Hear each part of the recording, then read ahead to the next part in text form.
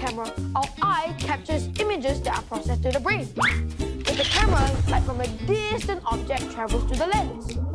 The lens focuses the light to form a sharp image of the object on a sensor inside the camera. That's right. It works exactly like our eye. Now, our eye has got different parts. The iris controls how much light enters the eye, while the lens basically focuses the light onto the retina which then sends information to the brain via the optic nerve so you know what you're looking at.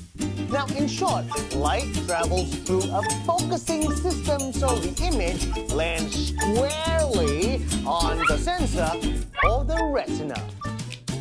But sometimes the focusing system doesn't quite work so well. This happens when the lens is too long and the image ends up falling in front of the retina instead of on the retina. The result is a blurry image or vision. To demonstrate, here's someone with normal vision. Now, objects far and near look sharp.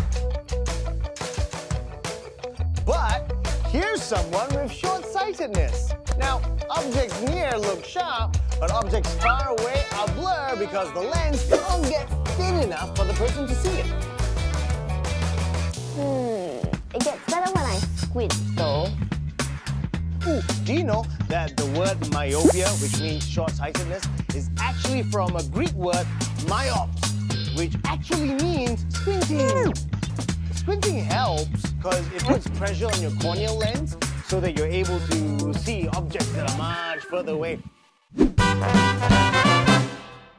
Do you know that in Singapore, one in five kids are myopic by the age of seven? And that increases to 3 in 5 by the age of 12.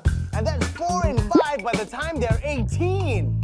But why is myopia so prevalent in Singapore? You know, it could be genetics.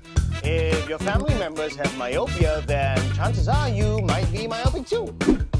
Also, if we spend a lot of time indoors, as many of us do, surrounded by gadgets and distractions, we are at greater risk of developing myopia. A few studies suggest that being outdoors in sunlight can reduce our chances of getting myopia. At least three hours of sunlight a day can help. So, get outside more.